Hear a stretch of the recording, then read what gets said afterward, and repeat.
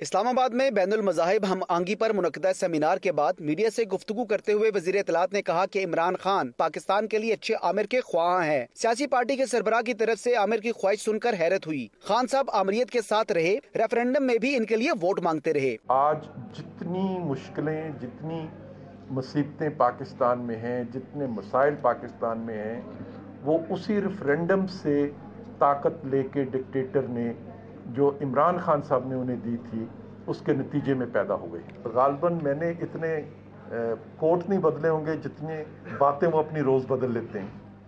کہ ایک ہی دن ایک ٹریبونل پر اعتماد کر رہے ہوتے ہیں، دوسرے دن اسی ٹریبونل پر عدم اعتماد کر رہے ہوتے ہیں۔ سیمینار سے خطاب کرتے ہوئے وزیر اطلاعات پرویز رشید نے کہا کہ پہلی افغان جنگ سے قبل پاکستان وہی پاکستان تھا جو قائد اعظم نے بنایا۔ یہ ہم سے اب چھن گیا۔ آپریشن ضرب عزب سے ہم نے چھینے ہوئے پاکستان کو واپس لینے کی ابتدا کی ہے۔ فوجی عدالتوں کا قیام کا عمل جو ہے، وہ اپنا پروسیس طے کر رہا ہے عدالتوں کی تعداد طے کر لی گئی ہے۔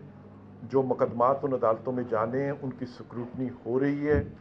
ان کے لیے جو گواہیاں پیش کی جانی ہیں، ان گواہیوں کو اور شہادتوں کو ترتیب دیا جا رہا ہے۔ پرویز رشید کا کہنا تھا کہ ماضی کی طرح اس بار تیئیس مارچ کو مسلح فوج پریڈ کریں گی۔ سال دو ہزار پندرہ میں صرف چین کے صدر نہیں، بلکہ دیگر ممالک کے سربراہان بھی پاکستان آئیں گے۔ کیمرامین محمود قریشی کے ساتھ حسن ایوب، دنیا نیوز، اسلام آباد۔